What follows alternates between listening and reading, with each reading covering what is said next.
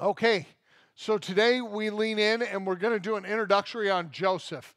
It's, um, it's a little bit shorter teaching because of all that's going on, but it's really important. It's incredibly important that we get the backstory on Joseph before we lean in. Here's the deal. Anybody here remember the Cold War? Yeah, a few of us, like, was that last winter when we had a fight? No. There was this awesome thing called the Cold War. Probably wasn't awesome, but I was a kid, so it seemed cool, where the Russians and the Americans were building massive nuclear arsenals, and we were trying to see who would blink. You know, you had the, the, the Cuban Missile Crisis, which is a whole different thing. But here's what happened. Back in the day, the CIA would look for snoops and um, different people, the KGB from the Soviet Union, would be trying to getting people into the United States to be spies. And when you would, when the CIA would do a background on somebody, they wouldn't just look at somebody. Okay, let's say the CIA was going to look into Joseph and see, you know, kind of who this guy is. What would they do? They would lean in and they would look into, well, their associates. Who does this person hang out with? They would look into who they work for. They would look at their education, see if they had any certain leanings in any different direction. Um, who have they worked with in the past? They would look at um, where they went to school. They would, they would find out what sports interest and different teammates said about them. They would really dig in, create a dossier on who this person is, and then they would really take a close look at their family members and find out who is this person because in psychology terms, we know that systems create systems. If you're part of a family system, most likely you'll reproduce in some version that system. You may think, no. Has anybody ever been doing something and think, oh my word, I'm my dad? Anybody? Yeah. Or a, a girl like doing something and like uh, they're standing there and like, oh, I'm standing like my mom does. Right? These are behavioral things we learn. Systems create systems. So they look deeply into the background, especially the family, to find out who they are. In order to really do Joseph justice, when we read scripture, what we need to do in this is read what comes before Genesis 37. Really unpack the fact that Joseph is in direct lineage to the God of Abraham. Anybody know who he is? Father Abraham, yeah. Anybody want to do a song with me? Many sons? Yeah, yeah. All right. Uh, many sons have Father Abraham. So Abraham, his son Isaac, and Jacob. Joseph is a son of Jacob. Okay? So so Joseph is in direct lineage to this great patriarchal family. And what we have to do is look back at that family and realize that what we're studying is a study of brokenness. And when we look at them, we're going to do this a little bit differently today, okay? I'm not going to have as many prompts on the screen. The scripture will be up there, but we're just going to teach our way through the scripture to get a look at this. And I want you to, to just know this. It's a Profession of Faith Sunday. Super positive, happy. This is a janky story. It feels Baki right here to read it. You're like, oh, these are people in the Bible? Like they should be on Jerry Springer but it's important. And if you stick with me till the end of it, there's, well, stick with me. So, uh, verse 35 or chapter 35 then god said to jacob go up to bethel and settle there and build an altar there to god who appeared to you when you were fleeing from your brother esau well, there's your first hint. I don't know about you. I had a big brother. Mine's name was Lincoln, and Lincoln put the beat on me. Okay? If I was a drum, I would have been in line. Just my brother and I fought a lot. I never won. My brother and I would get like rough with each other and stuff. But there were times I ran from my brother. Anybody else? Like you do something. I remember one time I cold cocked him and I hit him because he did the thing where he's like, okay, I'll let you hit me. And he flexed his stomach. I'm like, well, your giant head's right there. Boom. And then um, well, he's just like, I'm like, this is awesome. So I drilled him, and you know what happens? I got on my horse. I mean, I was running. I was like, oh gosh. Why? Because he was chasing me. This is the first kind of weird introductory. Did you notice? God said to Jacob, Go to Bethel and settle there and build an altar to God, who appeared to you when you were running from your big brother Esau. And you think, Ooh, what did Jacob do? Like, what, what kind of dirty activity did Jacob do?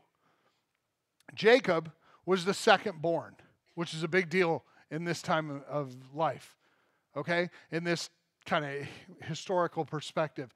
He was a twin. Esau was his twin brother. And when Esau was born, he came out just seconds ahead of Joseph.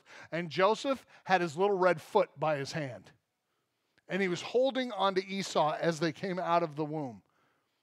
And they named Joseph as a heel grabber, someone who's always trying to get something, a heel grabber, a deceiver. And what Joseph or what Jacob had done is Jacob had deceived and tricked his older brother throughout his whole life. I mean, he really had owned Esau. At one point, Esau's starving, he thinks to death because oh, I'm so hungry. And, Joe, and Jacob says to him, Hey, how about this? I'll give you a bowl of stew if you'll sell me your birthright. He's like, I'm so hungry. What does it matter if I have a birthright if I'm dead? You know, and you're like, oh, were they in middle school? But um, so he's like, okay, so he gives him the soup. Esau eats it, and Jacob has stolen his birthright. Then, when his father, when uh, when Jacob's father Isaac, or, or was very old, he stole his brother's um, uh, blessing, the blessing of the firstborn. He deceived his father into blessing Jacob as though he were the firstborn. This is a really big deal. Because when you steal the blessing of the firstborn, the entire estate goes to the firstborn. And he just made Esau uh, a poor man. Oh, Esau was ticked, and that's why he was running. Jacob had always been, well, he was a heel grabber. He was a deceiver, and he would um, he would do whatever it took to get ahead. So, verse 2. So Jacob said to his household and all who were with him, Get rid of the foreign gods you have with you and purify yourselves. Change your clothes. Then come, let's go to Bethel, where I will build an altar to God who answered me in the day of my distress, and who has been with me wherever I have gone. So his family gave Jacob all the foreign gods they had and the rings in their ears, and Jacob buried them under the oak at Shechem. Then they set out, and terror, the terror of God, fell on all the towns around them, so that no one pursued this, pursued them. So did you pick up on that? Jacob's already encountered God. God's saying, Go back to the place I once met you. Go back to that place and, and follow me. Like, come back. And he has to do what? If we're going to go see God, we should probably put away all our foreign gods. It tells us this Jacob might not be the best leader, the best dad. He's deceived his family, but now, even after he's met God, he has, well, he's kept his foreign gods. He's kept the idols. They were pagans. They were living as people outside of having their focus on God only. And what I recognize in this is he knows God intimately. If you look at verse 3, it says, Let us go, after he says, Get rid of your foreign gods, let us go to the place to build an altar to God who answered me in the day of my distress. He knew God. He knew God, yet he allowed people around him to serve other gods. This Jacob seems to be as shady as they get. And we look at it and go, oh my goodness, he's already encountered God and that God who made promises to Abraham and Isaac is now making promises to Jacob, and Jacob seems thoroughly unworthy of the promise. His family is pagan. So, verse 6 goes on to say Jacob and all the people with him came to Luz, and that is Bethel, in the land of Canaan. And there he built an altar, and he called the place El Bethel. Here's super important El. Has anybody ever heard the term Elohim? Okay, it's a Hebrew word. It means El Elohim, it's a term for God. El is a term, El is a term for, uh, for deity in the ancient Canaanite world. And he called it El Bethel, the place where I met God. So I just think that's really cool. Um, so he says, because it was there that God re- re- revealed himself to him when he was fleeing from his brother. Now, Deborah, Rebekah's nurse, died and was buried under the oak outside of Bethel. So it was named Allon Bachuth, the oak of weeping. All right. Anybody here ever have a babysitter when you were little? Okay. Did you, the rest of you, just get left home alone and be feral? Who had a babysitter? Work with me. There we Oh, oh my word. That's awesome. I ought to ask questions twice here. All right. So um, here's the weird thing. Rebecca's not married to Jacob. Rebecca is Jacob's mom. Deborah's his like nanny. Jacob's a grown man and his nanny's still with him? right? You can kind of look at it and go, well, Jacob's kind of a doorknob in this, isn't he? He's, what? His nanny's still here? His mom's nurse is traveling with him? Do we have a sniffly nose? Like, it seems a little strange to me that that's put in there. Maybe she was kind of a grandma figure. She'd probably been his, his nanny, his nursemaid. She'd probably taken care of him. There's this weird thing going on, but she's mentioned significantly within this text. And it does show really two things. One of the things it shows is that um, God shows time and again that no one is insignificant in his story, and he gives a woman without a beginning a very prominent place in the lineage and the activity of God's people. So that's really cool. But the other thing it tells us is Joseph still had his nanny with him. And it's just kind of weird. It's just a little weird. I mean, seriously, you think like the God of Abraham, Isaac, and let's just jump a generation and go to Joseph at this point, right? Because Jacob's not really getting it done, but we don't. Abraham, Isaac, and Jacob, the God of. He's a great patriarch of our faith. Let's read on. Verse 9 After Jacob returned to Paddan Aram, God appeared to him again. Side note, he returned to him again. If you read devotions this week, which we publish devotions and we put them at the exits where you can grab them on the way out or you can find them at foundrychurch.net. If you read the devotions, you will know how significant that little word again is. It's really significant in this.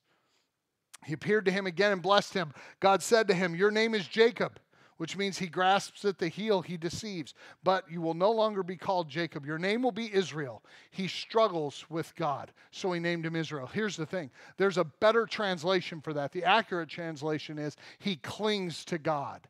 He clings to God, holds on tight. When our oldest son would be babysat by my mother in law when he was a baby, they had to take her pictures off the wall because he would be like, oh, there she is. I miss her so much. And he would just break apart. Now, he didn't say that because he was a baby, but he, would, he couldn't even see her picture. Her likeness would undo him. He clung, he loved her. He loved her. He clings. That's Jacob. He clings to God. His new name is not deceiver or heel grabber. It's one who clings to God, one who gets him in the grip and is like, no, and will not let go, holds tight to God. He clings to God, is his new name this idea of Israel being in a struggle with God, a struggle clinging to God. I, I, mean, his name goes from Jacob to Israel. We know Israel is a nation state in the Middle East. That's where it got its name. Uh, they are the children of Israel, the children of the man who was once Jacob, given a new name by God, Israel, to cling and to struggle with God. And I believe that that name has stuck with the Hebrew people throughout all of Scripture. And what we can do is this name change for Jacob was personal. It's not the first time he was given this name by God, but the second time it stuck. He is no longer grasping and deceiving. He is someone who clings to God. Verse 11 And God said to him, I am God Almighty, be fruitful and increase in number. A nation and a community of nations will come from you, and kings will be among your descendants. The land I gave to Abraham and Isaac, I also give to you, and I will give this land to your descendants after you. Then God went up from him at the place where he had talked with him. Jacob there set up a stone pillar at the place where God had talked with him, and he poured out a drink offering on it. He also poured oil on it, and Jacob called the place where he talked to God Bethel. Bethel. And then come the death of Rachel and Isaac. So we move into this section of scripture now where two people who are critical in Jacob's life die his dad and his wife. But this is also where the story takes a crazy hard turn and then a bunch of other weird turns. It gets really squirrely here. And here's why Rachel was one of Jacob's wives, which means there were more. Jacob, after he deceived Esau, he leaves because Esau is going to kill him. And um, he goes to this land and he meets a man named Laban. And Laban has two daughters. One's pretty good looking, and the other is meh. And he goes for Rachel, the one who's pretty good looking. He goes after Rachel and he makes a deal with Laban. I want your daughter. And Laban says, Work seven years for me.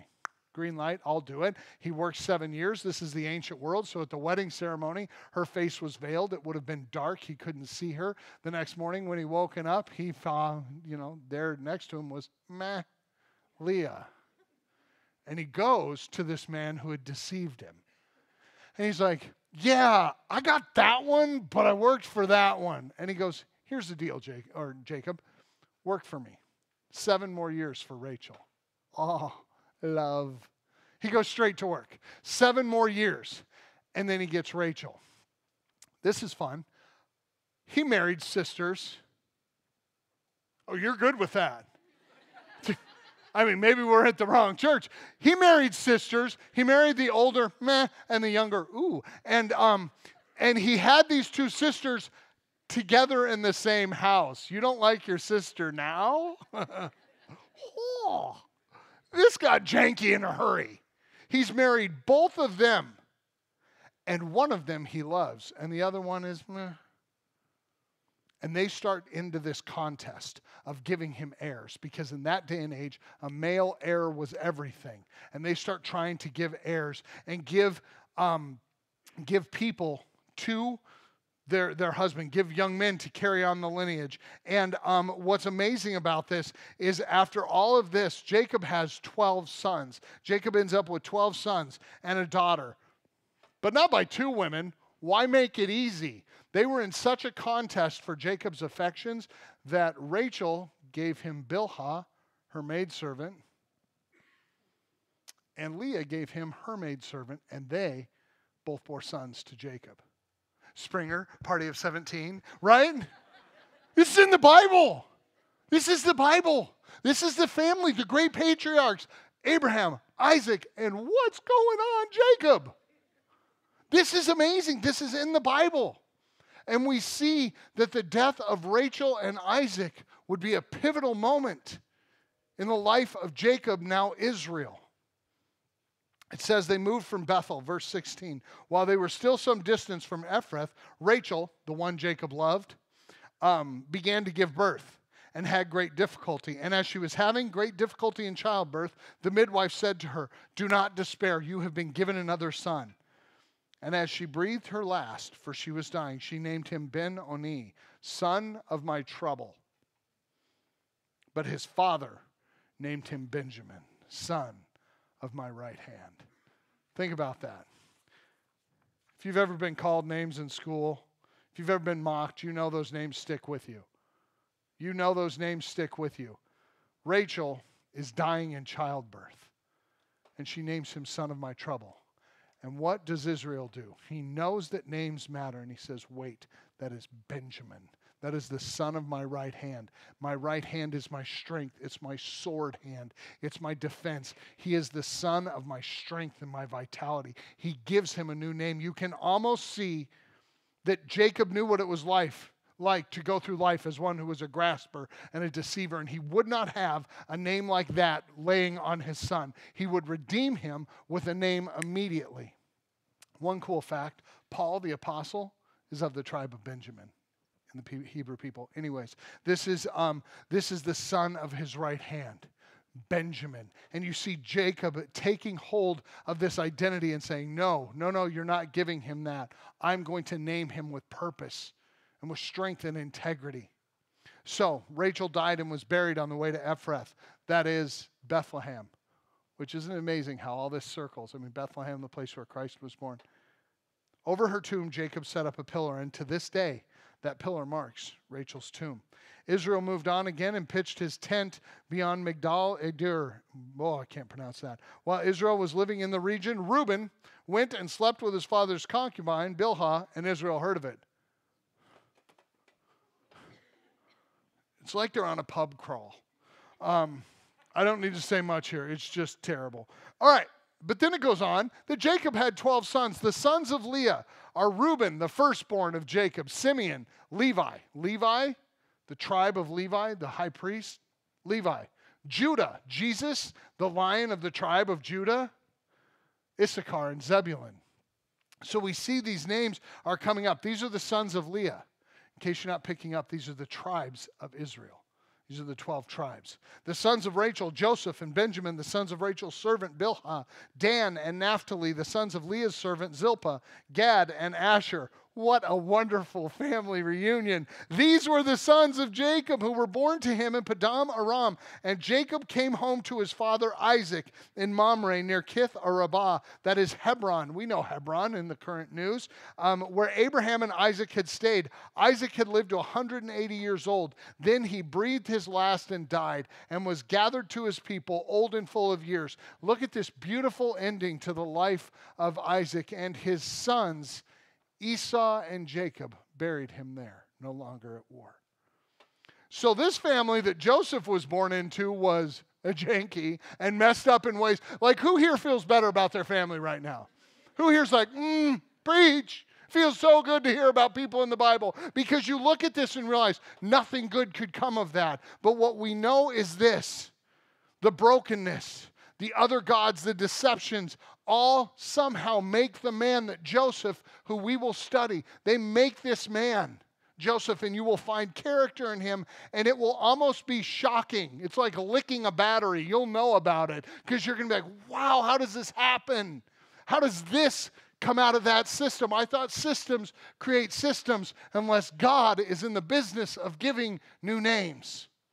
That's where we grab on. That's where we hold on because we need to apply this story to our life because you and I have lives with as hopefully not as much wreckage emotionally as this family did. But I won't make you raise your hand today to admit you have a family with a lot of brokenness in it there's brokenness, there's been deception, there's been illicit activities, there's been drunkenness, abuse, failures in every corner of life. Your kids have failed, the adults have failed, and you sit there and you go, oh, good.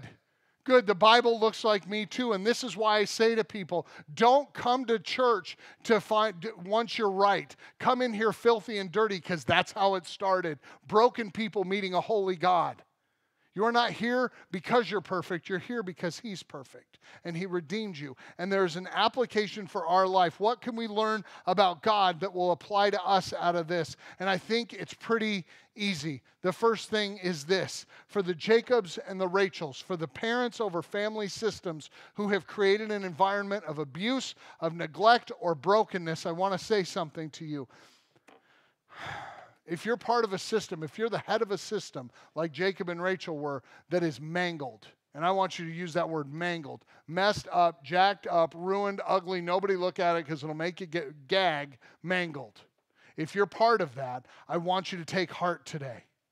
If you're a parent who has failed, if you have failed as a parent in being a godly example and different things, I want you to take heart today. You too have been given a new name.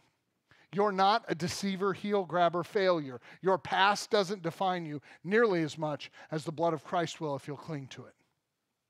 If you'll cling to it, you have been given a new name. You've been given a new identity in Christ. And just like Jacob, you can live into that identity fearlessly and courageously. Remember, no matter how you failed, you and your children are not a lost cause. Because if lost causes are written, they're in that chapter 35 of Scripture, where there's four women giving birth to two to one man, two of them are wives, two of them are servants, and everything goes sideways from there. That's a story of tragedy. Somehow God wove it into the story of the gospel. If you think you're beyond saving because you're a failure as a leader in your own home, I want to say this God still gives new names. God still calls us to his purposes. You can be grafted into God's family. You can submit your life to God's leadership and serve your family as Christ serves the church. You're not bound to your past. There are no earth, there are earthly consequences for bad decisions, but it doesn't mean it's the end of the story. Start today walking with God, living under a new name. But also, if there's kids out there, if there's children in these systems, for you kids who grew up in systems that were janky and messed up and weird, and maybe you grew up and left and you went, My family's a dumpster fire, and you realized how much damage was done and stuff, I want you to hear me today. Maybe you identify with Joseph or with Benjamin or one of the other kids in the story. Maybe you identify and feel like you were born into a family dynamic that was a train wreck, but it wasn't your fault. You need to understand something that we learned from the life of Joseph this summer. You need to understand that God is still in the business of redeeming brokenness in the name of Jesus Christ. Out of this family comes the tribe of Judah, and out of the tribe of Judah comes the one and only, the Lord and Savior Jesus Christ. We are bound to that name. We are owned by that name. You are not owned by your family system. You are part of a new family system. And that system, well, Jesus said, go into the world, make disciples of all nations, is creating systems. We're creating new believers, not out of our brokenness, but out of His goodness. We lean in today. You are not cursed to repeat your family system. You are not cursed to it. You are called to give your life to Christ. Cling to His name. Cling to his character. Cling to his reputation because his reputation is flawless. I love that in the in the video. I think it was Carly who said um, that that I Jesus died for me because I'm a sinner but he isn't. Jesus is not a sinner.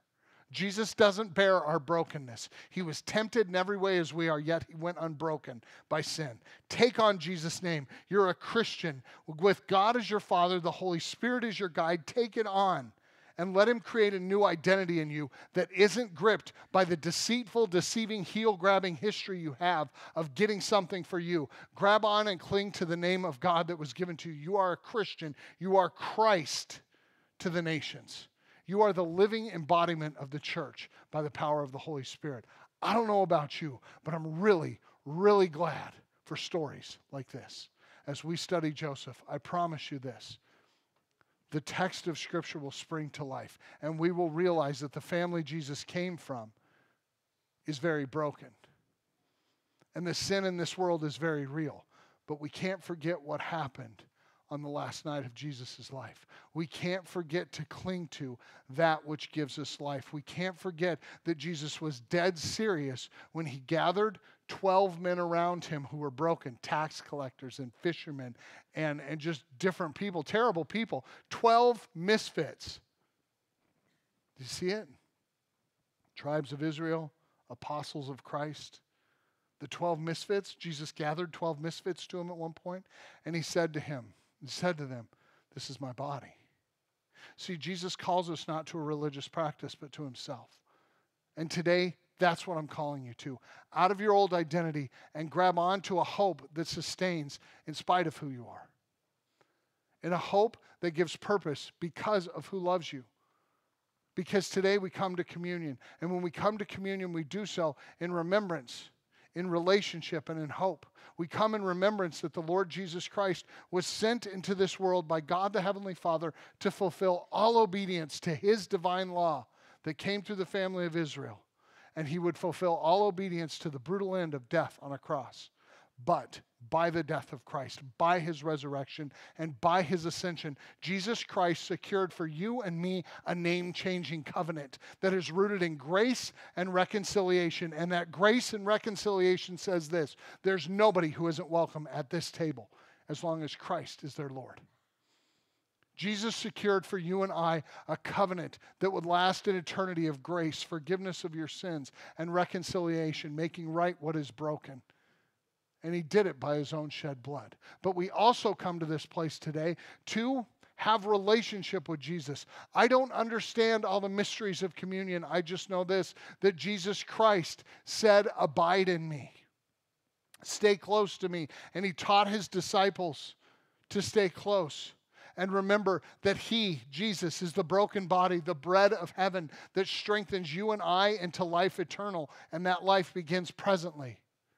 He also reminds us in John 15 that He is the true vine in whom we must stay attached if we are to bear any fruit. And the fruit of the Christian life is new people coming to know Christ. Our witness expanding and bringing those who don't know Jesus in. If we're going to be fruitful, we must be connected to the Lord Jesus Christ. We must remember that He is the one who said, I will be with you always, even to the very end of the age. You're not in this alone by religious duty, but by relational right. You've been brought in as a son or daughter. And finally, we come here in hope, in the hope that we who are such a mess, we are such a mess, if we are honest. We are just messed up people. But if we who are so messed up can come to Jesus Christ, that we, by this little taste of bread and this little taste of juice, are participant in the chorus of heaven, that Jesus Christ said, to eat and drink of it in remembrance of him, remembering that his blood was enough for your sin. His broken body was shattered so that you could have new life in him. We remember and we come in hope because this hope tells us that this isn't all there is. This life leads to a life yet to come, and that life yet to come is seen in the smallest little lens right here, in the smallest little table, and a taste of bread and a taste of juice that is a foretaste, the tiniest appetizer of the world splitting chorus that will happen one day when God gathers all of the church from all time to himself. Billions of us gather around and we receive our first visual of the Lord Jesus Christ. We see him high and lifted up and not only do we see him, we're made like him. All that has broken you, fall, broken, been broken in you, falls away, and all that is Christ fills you. And we become like him, made into his image, no longer held by our sinful past, but held in the grip of grace. My friends, we come here today because of the hope of Christ, the hope born in us by his sacrifice. My friends, today we take communion, knowing that as messed up as we are as families, we are not beyond the grace and redemption of Jesus Christ. Amen? On the night Jesus was betrayed, he took bread and he broke it and he said to his disciples, This is my body. It's broken for you. As often as you eat of it, do so remembering me. In the same manner, also, he took the cup, and after he had poured the cup and blessed it, he held it up to him and he said, This, this is the New Testament and it's written in my blood. As often as you drink of it, do so in remembrance of me. We know this that communion is a mysterious participation with God. So here's the rules if Jesus Christ is your Lord and Savior, this is your meal. You're welcome. If you have children and you would like them to come up and take communion, the table is open to them.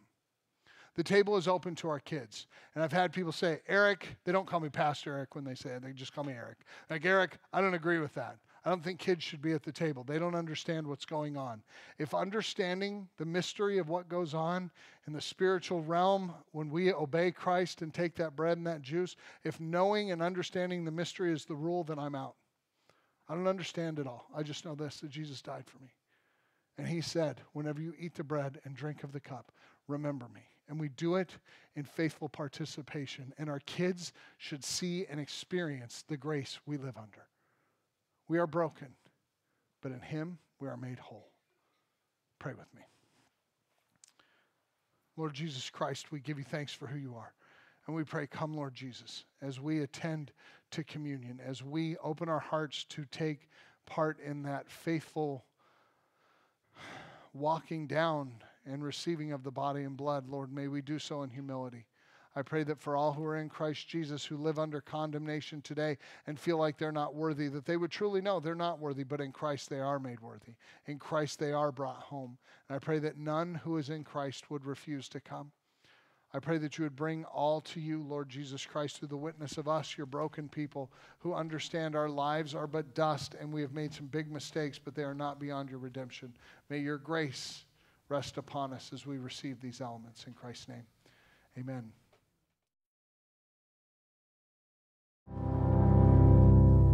We kept you super long today, and I'm not sorry at all. I am so glad you joined us for worship today. I am so thankful that you guys gave us the opportunity to walk with, with you through profession of faith. If you haven't gotten a chance because we didn't give you a chance to greet, come down, give these new members some love, shake hands, introduce yourself. I know a lot of family wants to hug you. Well done. Well done with that. Thank you for joining us today for worship, for communion, and gathering as the body of Christ. As you go, may the Lord bless you. May the Lord keep you, and may the Lord cause his face to shine upon you and be gracious to you. May the Lord turn his face towards you and give you his peace. In the name of the Father, Son, and Holy Spirit, it is time for the church to leave the building. My friends, you are dismissed.